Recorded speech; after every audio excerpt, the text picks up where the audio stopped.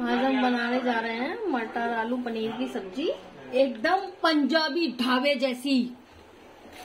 पाँच मिनट में तैयार हो जाती है ये सब्ज़ी। आप चाहें तो घर में ट्राई करके देख सकते हैं। थोड़ी सी हल्दी डाल के, थोड़ी सी मिर्ची, थोड़ी सी मिर्ची, एकदम पंजाबी तड़का देंगे हम इसे। एकदम मस्त सब्ज़ी बनेगी ढाबे जैसी। भी ट्राई करके देख सकते हैं घर में।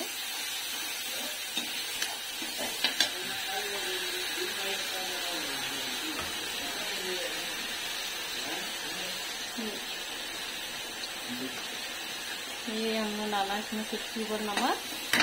और हमने टमाटर को एकदम मैश कर लेंगे।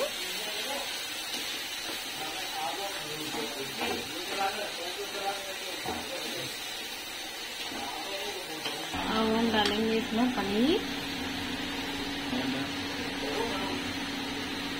हमने इसमें डाल दिया पनीर। थोड़ा सा इसको मिला लेंगे।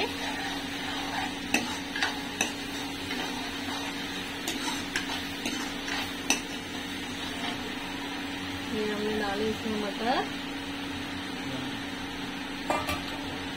फिर हमने थोड़े से आलू। बॉईल किए हुए आलू हैं बॉईल की हुई मटर अब हम इसमें डालेंगे पानी थोड़ा सा पानी।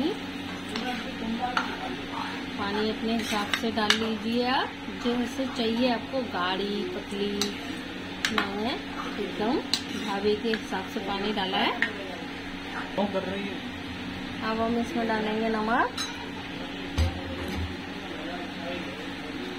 एक चम्मच लाल मिर्च एक चम्मच दाल का मसाला, थोड़ी सी कसूरी मेथी,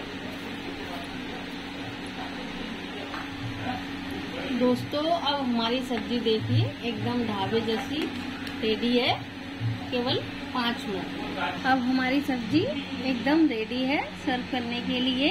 आप चाहे इसे पूड़ी से, पराठे से, रोटी से खा सकते हैं। ये एकदम ढाबे जैसी टेस्टी बनी है। Like my channel subscribe and like video पसंद आई हो तो आगे शेयर करना। जय राम जी की।